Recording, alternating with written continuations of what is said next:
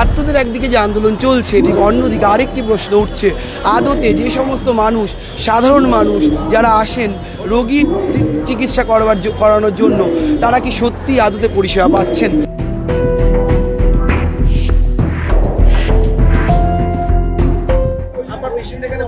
হ্যাঁ। কোন কোন ডিপার্টমেন্ট প্লাস্টিক সার্জারি ট্রিটমেন্ট হচ্ছে? কি কি অসুবিধা অসুবিধা বলতে ওনার পা শিরা কেটে গেছে। তার জন্য ওনাকে ভর্তি করেছি অপারেশন হবে বলেছিল। এখন তো ডাক্তার ঠিক মতো আসছে না। তার জন্য ভর্তি আছে এখন। আমরা ভর্তি আছি আজ বারো তেরো দিন। তেরো দিন ভর্তি আছি। না।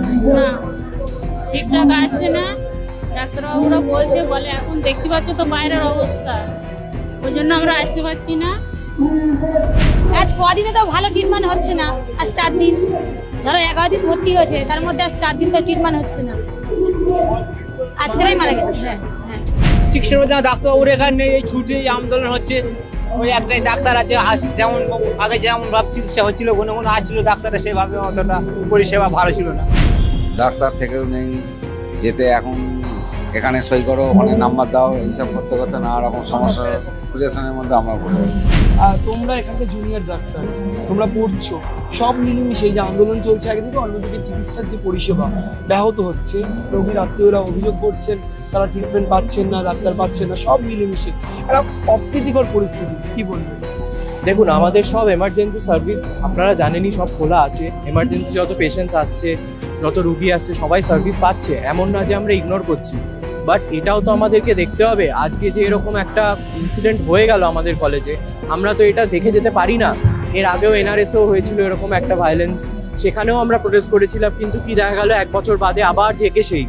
আবার আমাদের কোনো ডিমান্ডস ফুলফিল হলো না, কিছু হলো না we are back to square one তো আমাদেরকেও তো অ্যাজ আ মানুষ দেখতে হবে, আমরা যে যাচ্ছি পরিষেবা দিতে, আমাদেরকে, নিজেদেরকে আগে সেফটিটা আমাদেরকে ফিল করতে হবে যে আমাদের জন্য এই ফেসিলিটিগুলো আছে।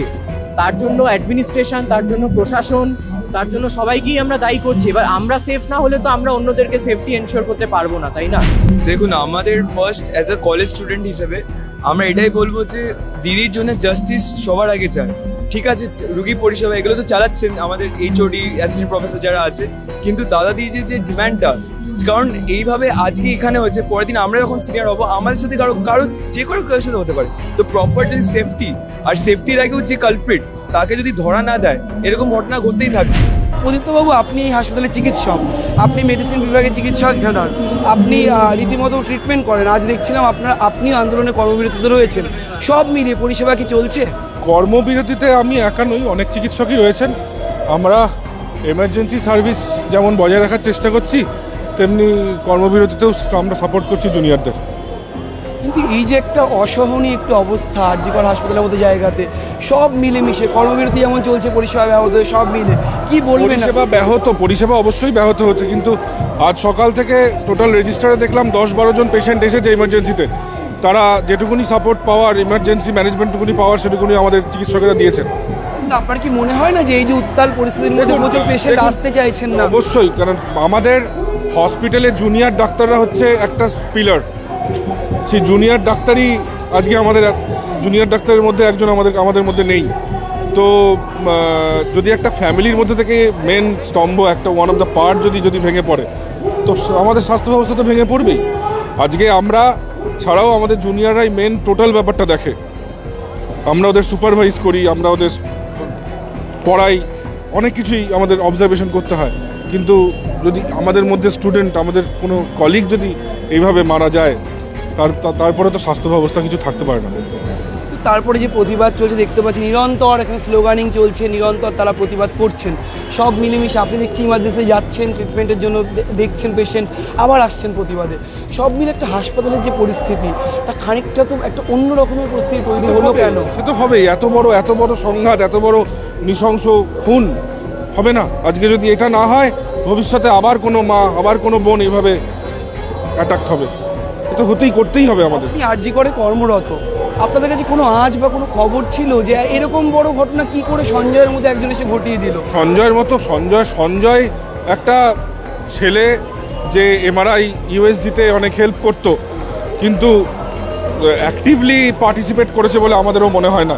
আমরা জানতাম না বিশ্বাস করুন আমরা জানতাম না। আমরা চাই আসল খুনি আসল দোষীকে সেটা ধরা পড়ুক খুব শিগগির। মানে আপনি কর্মরত অবস্থায় বলছেন কর্তৃপক্ষের একটা চূড়ান্ত গাফিলতি ছিল। অবশ্যই ছিল, শুধুমাত্র আজ আপনারা যারা দেখতে পাচ্ছেন যে আজকে মারা গেছে, কিন্তু এই মারা যাওয়ার পেছনে ইতিহাসটা অনেক বড় আছে, এটা আমাদের মনে হয়।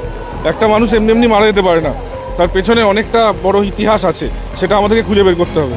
একদিকে যেমন রোগীর পরিজনরা বলছেন যে তারা পরিষেবা ঠিকঠাক পাচ্ছেন না, আর অন্যদিকে এই প্রশ্ন উঠছে যে নৃশংস ঘটনা আরজিকর হাসপাতাল চত্বরে ঘটেছে, আরজিকর হাসপাতালের মধ্যে ঘটেছে, সেই নৃশংস ঘটনার বিচার সেই বিচার চাই আমরা।